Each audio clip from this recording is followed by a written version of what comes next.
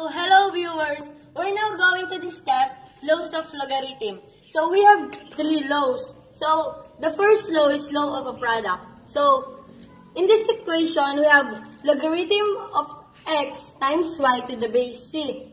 So, we're just going to get the factors of product x and y because the bases are the same. So, logarithm of x to the base c plus logarithm of y to the base c. So, now, let's try it with numbers. So, in this example, we have logarithm of 3 times 4 to the base 5.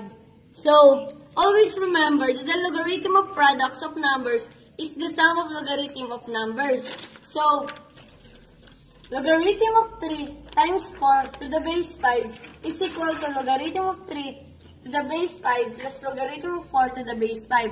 Why? Because we get, since the bases are the same, which are logarithm to the base 5, we just need to, to separate 3 and 4. So, logarithm of 3 to the base 5 plus logarithm of 4 to the base 5.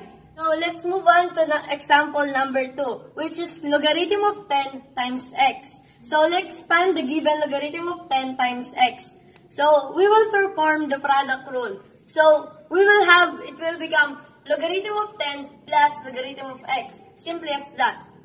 So, in example number 3, we have logarithm of 4 to the base 2 plus logarithm of 3 to the base 2. So, in order to get this answer, we will have, um, so the bases are the same, right? Logarithm to the base 2. So, we, we will just multiply this 4 and 3. So, 4 times 4 times 3 will give us 12. So, since the bases are the same, we just need to write this. So, we have now logarithm of 12 to the base 2. So, this is the end of the logarithm of the product. Let's move on to the next law.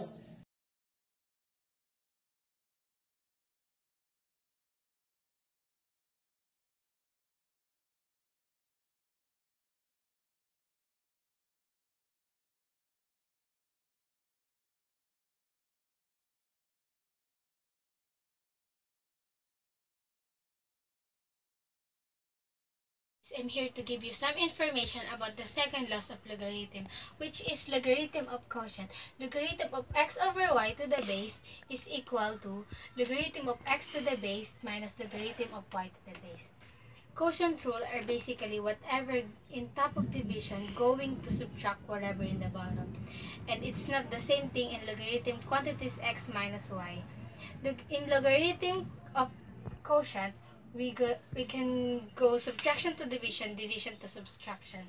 And here are some examples to better you understand the laws of quotient.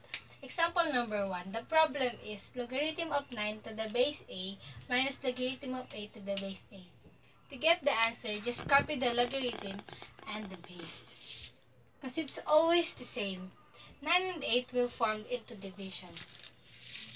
So, logarithm of 9 to the base a minus logarithm of 8 to the base a is equal to logarithm of 9 over 8 to the base a. The problem is logarithm of 3x minus 2 over 4 to the base 5. To get the answer, just copy the logarithm. 3x minus 2 will form and called as quantities. And the base 5 minus logarithm of 4 to the base 5. So, logarithm of 3x minus 2 over 4 to the base 5 is equal to logarithm of quantities 3x minus 2 to the base 5 minus logarithm of 4 to the base 5. So, that's it. If the given is subtraction, the answer will be in division. If the given is in division, the answer will be in subtraction. Hope you understand. Thanks for watching. God bless.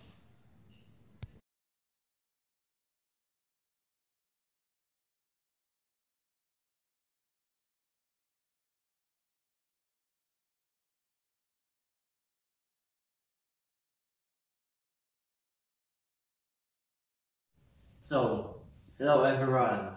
We are now in logarithm of power. There's of logarithm.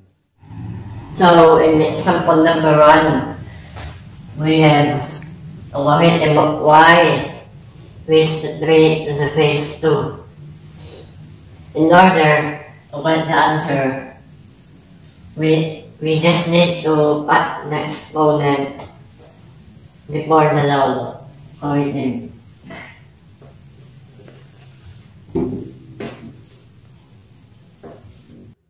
So if we put it, we, we will get 3 log y.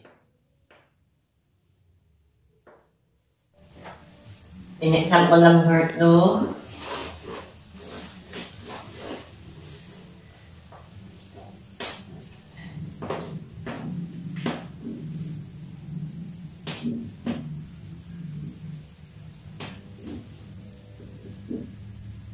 we have logarithm of e raised to 2 to the base 3. Answer this. We're, we're just going to put the exponent before the log. Like, um,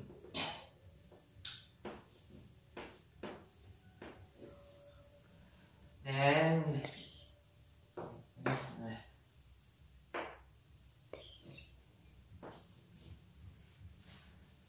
Yeah. Stop. Answer this. We're just going to put the exponent before the log.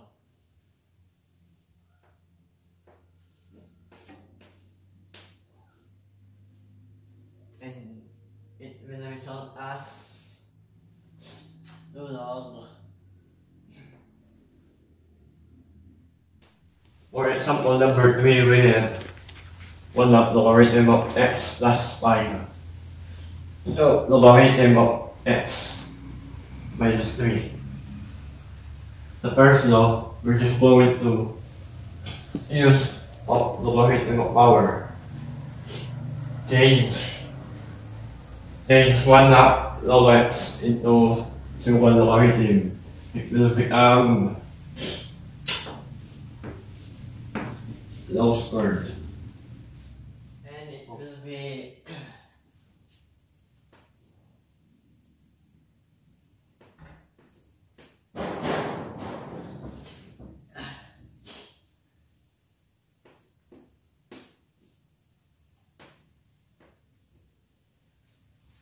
will be logarithm of x minus 3 raised to 5. So this line is this is uh, positive.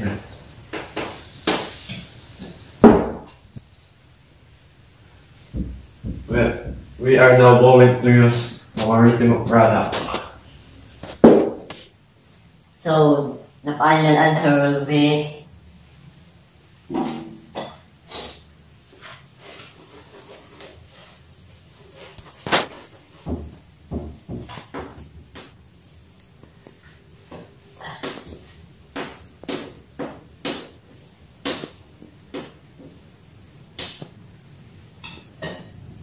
And this is the final answer.